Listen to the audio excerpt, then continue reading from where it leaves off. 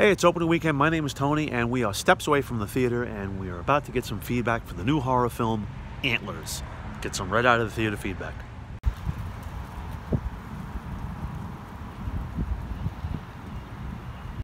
Gentlemen, you just saw Antlers, huh? The new Yeah. Guillermo del Toro horror flick. What'd you think? You gotta, you gotta break it down for I me. thought it was a pretty good movie. Um, Yeah. There's a lot of jump scares and spots where you really didn't expect it. Right. Uh, the storyline was cool, very different. Um, talking about the Wendigo.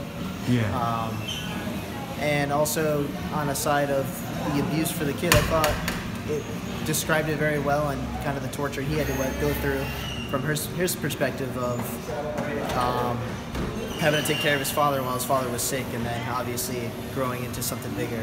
But um, I thought overall the movie was done pretty well. Um, I thought the ending could have been a little bit better in terms of how easy it was for the girl to kill the monster. But other than that, it was overall good. Whoever's writing Roger Ebert's column uh, said uh, it was kind of slow and you know lethargic. It was a little slow at points because it was trying to get a good background of what the child was going through Yeah. and the storyline of how it was going to end up being.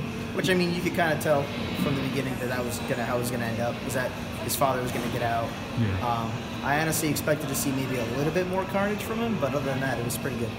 Why do they call the movie Antlers? Uh, because the guy in uh, Roger Ebert's column said it's like a werewolf zombie hybrid. Or is that inaccurate? That looks inaccurate to me. Kind of, because the mythological creature is essentially a. It's almost like an elk with. short Oh, okay. So like, it has large antlers on it, Right, right, and right. it kind of right. kept the face, um, facial structure of a human, just with um, more carnivorous teeth. Nice. So, okay. but, uh, so, so oh, this, this sounds pretty, pretty darn good. Yeah, Are you a Guillermo del Toro guy? yeah, I don't mind him. Yeah. You seen a lot of his movies? I've seen quite a few of them. All right, cool.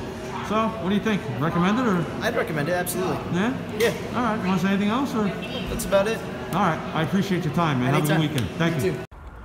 Super, super cool of that man who uh, just told me about the new film Antlers, the new horror film from Guillermo del Toro. I, uh, if you're watching, sir, I really appreciate it.